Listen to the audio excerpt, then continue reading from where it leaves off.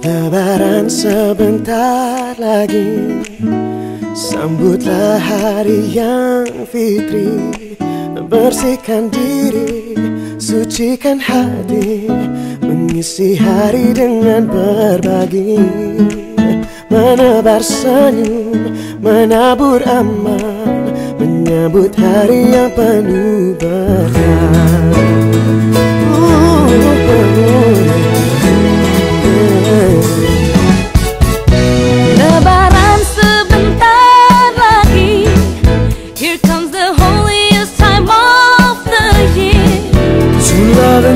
care, to ask forgiveness, to cleanse our souls, return to purity.